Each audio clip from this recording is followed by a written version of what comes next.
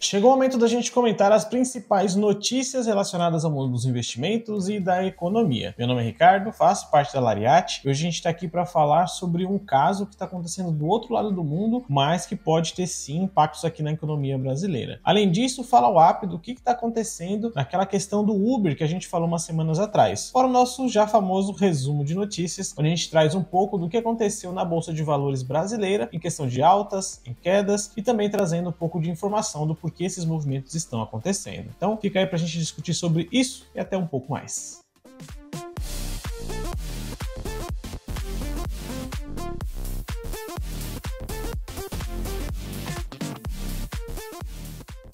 E uma das maiores construtoras do mundo tem o seu dono preso, e isso sim pode gerar impactos na economia aqui no Brasil. E aqui nós estamos falando da Evergrande, que é uma gigantesca construtora lá da China. E como você que já acompanha a gente sabe, nós sempre falamos um pouco do mercado de construção civil na China quando nós estamos falando de commodities aqui no Brasil. Elas estão bastante interligadas, principalmente quando a gente está falando do minério de ferro. Mas o que acontece é que a empresa não está passando por um bom momento e tiveram sucessões de vários acontecimentos que estão prejudicando ela e culminando nessa prisão que nós comentamos lá no início. Então vamos entender um pouquinho o cenário para a gente chegar no momento atual. Então, para início de conversa, a gente tem que entender que a Evergrande ela é gigantesca, como a gente já comentou aqui, mas ela está afundada em dívidas e ela passa por um processo ali de recuperação judicial, algo similar a isso, ali dentro do que existe no modelo chinês. E esse assunto está tão sério que recentemente a empresa fez um impensável. Ela simplesmente deu calote em 447 milhões de dólares, ou seja, deixou de pagar ali o que seria parte dos seus acordos. Isso por si só fez as ações da empresa derreterem durante a semana, foram próximos ali dos 20% de queda, mas não foi a única consequência que a empresa enfrentou. Nós também tivemos o bilionário Ryu Kai-yan, que não faço a menor ideia se eu estou pronunciando corretamente, se você souber a pronúncia me informe e me desculpe, mas ele foi colocado sobre controle da polícia. Isso não efetivamente significa que ele está sob custódia ou preso. Seria algo próximo a uma prisão domiciliar que estaria sendo feita preventivamente, onde ele estaria sendo vigiado pela polícia para que ele não fizesse nada que o governo não gostaria que ele fizesse. E aqui a gente pode estar falando, né, de deixar o país, de fazer alguma movimentação estranha ou qualquer coisa nesse sentido, né? Então eles querem manter ele onde a vista alcança. E essa não foi a única medida tomada dentro dessa direção. Nós tivemos também duas prisões de outros funcionários, ex-funcionários e ex-executivos também, lá da Evergrande, segundo um jornal local ali da China. Isso está acontecendo em meio a uma grande crise imobiliária na China que se arrasta já por alguns anos. É sempre bom a gente lembrar que lá na China, esse mercado específico da construção civil muito é inflado por conta de subsídios do governo, que estão ali colocando dinheiro e incentivo para que esse mercado se desenvolva desenvolva cada vez mais. Mas o problema de se fazer isso na base do incentivo e não de acordo com a demanda do mercado é que você acaba tendo certas discrepâncias. São comuns aí as famosas cidades fantasmas lá na China. Que não são exatamente fantasmas, né? Mas sim, elas têm uma ocupação muito baixa pelo que elas já estão em desenvolvimento, né? Então a cidade se desenvolve muito e não tem gente suficiente para ocupar todas aquelas habitações. Ou então, outra situação que acontece é que as habitações, elas não têm pessoas que têm poder aquisitivo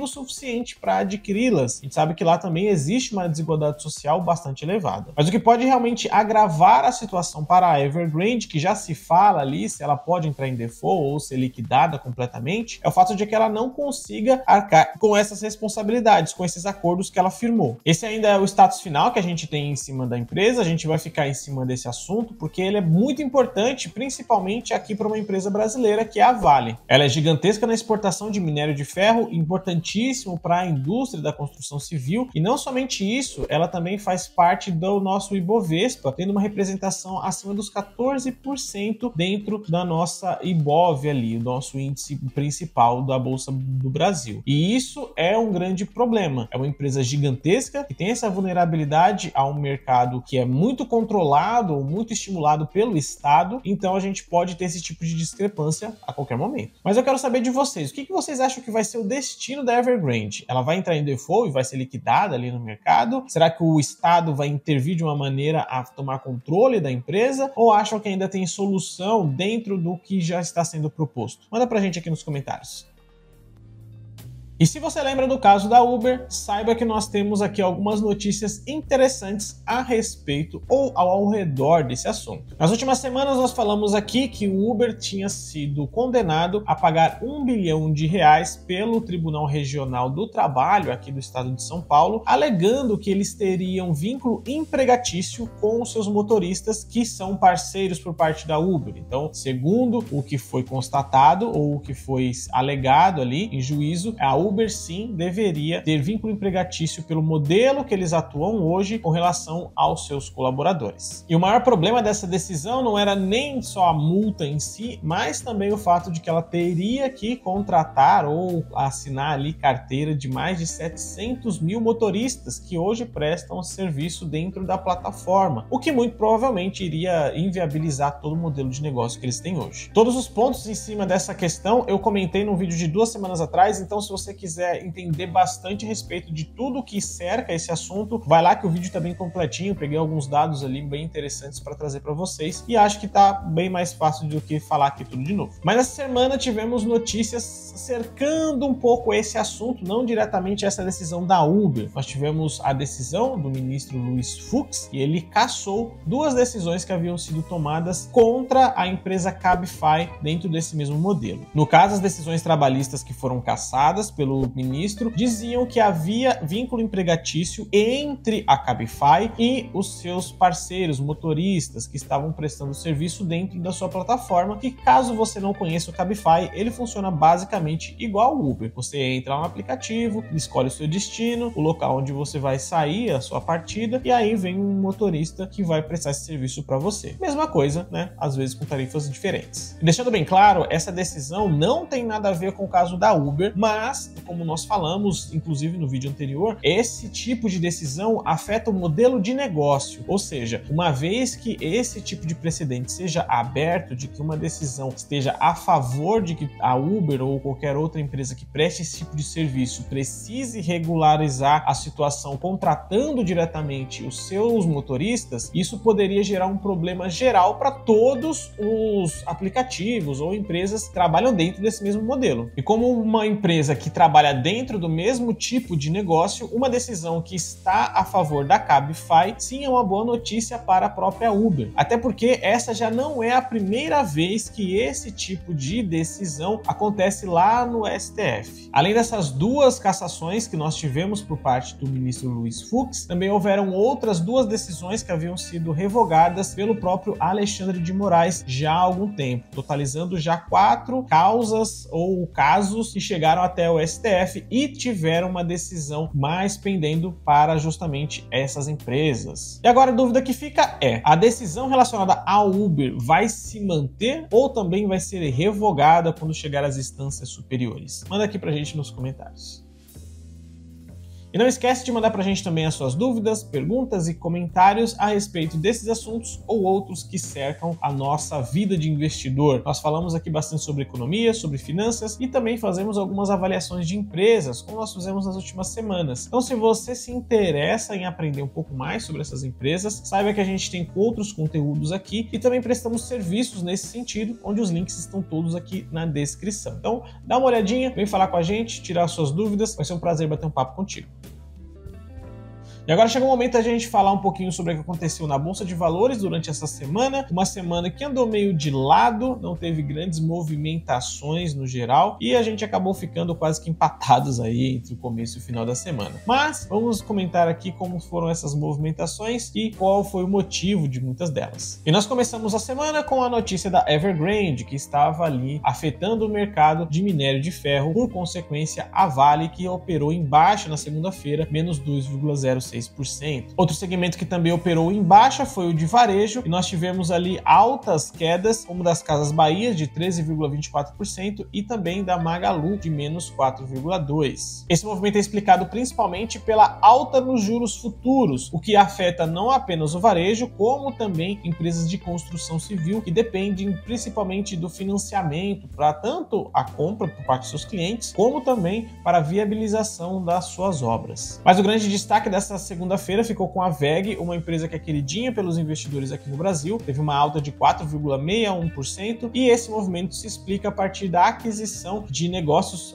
relacionados a motores elétricos da Regal Rexnord, um negócio de 400 milhões de dólares que foi feita por uma das suas controladas. Com essa aquisição, a VEG já se faz presente com 10 fábricas em 7 países diferentes, além de ter representações em 11 países através de escritórios e já contar com mais de 2.800 funcionários. Mas o dia foi de leve queda, uma queda quase insignificante, na verdade, né? 0,07%. Com isso, batemos 115,9 mil pontos no Ibov. Na terça-feira, nós continuamos com o movimento de queda, agora uma queda um pouco mais brusca, e dessa vez nós temos o varejo de novo como um grande afetado pela incerteza dos juros futuros. As maiores quedas ficaram pelas lojas Renner e Grupo Pão de Açúcar, ambos com quedas bem relevantes para o dia. E falando das nossas duas gigantes aqui, Petrobras e a Vale, nós tivemos ambas num sentido de queda para o dia decorrente ao governo chinês ou a notícias que envolvem a China no geral. No caso da Vale, como a gente continua falando aqui, a própria Evergrande ela está tendo aquele problema e isso afeta bastante o mercado de minério de ferro. Isso a Vale ficou abaixo em 1,56%. Já do lado da Petrobras foi um anúncio que a própria empresa fez envolvendo a China.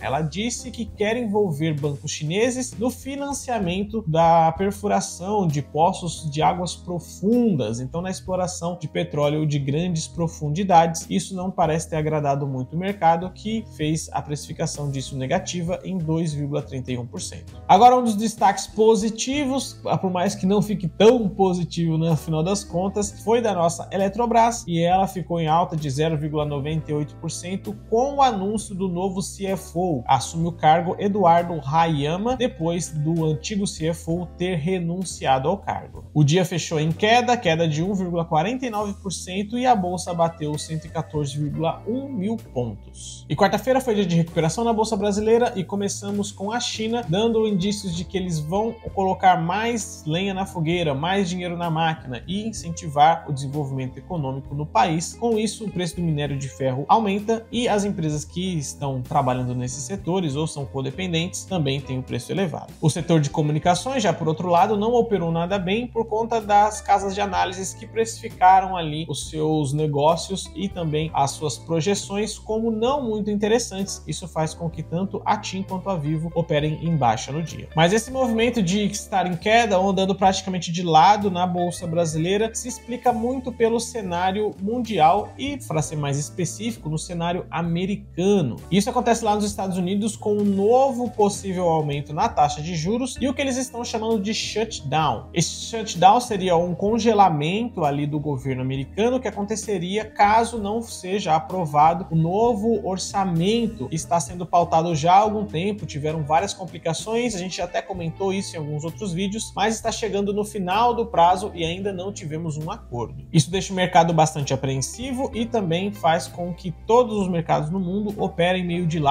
ou em baixa. Por isso, a gente tem essa movimentação, principalmente nesse meio início da semana. Mas o saldo final da quarta-feira ainda é de alta de 0,12%, chegamos aos 114,3 mil pontos. Quinta-feira foi dia de levar a moral para o pessoal que é investidor aqui no Brasil, porque nós tivemos uma recuperação mais significativa na bolsa brasileira. Começando com a Vale, os bons números de produção de minério de ferro no Brasil para o ano colocaram a empresa num patamar mais elevado. Com isso, ela operou em alta de 1,52%. Mas o otimismo também chegou para outros setores e ali o pessoal que já é mais afetado pelos juros também tiveram um alívio. Tivemos os bancos e também o setor do varejo operando em alta no dia. As nossas altas mais significativas ficaram tanto para o Banco do Brasil, alta de 3,21%, e também para o açaí de 5,35% no dia. Mas o destaque do dia aqui ficou por conta da Petrobras e também da Vale. As duas empresas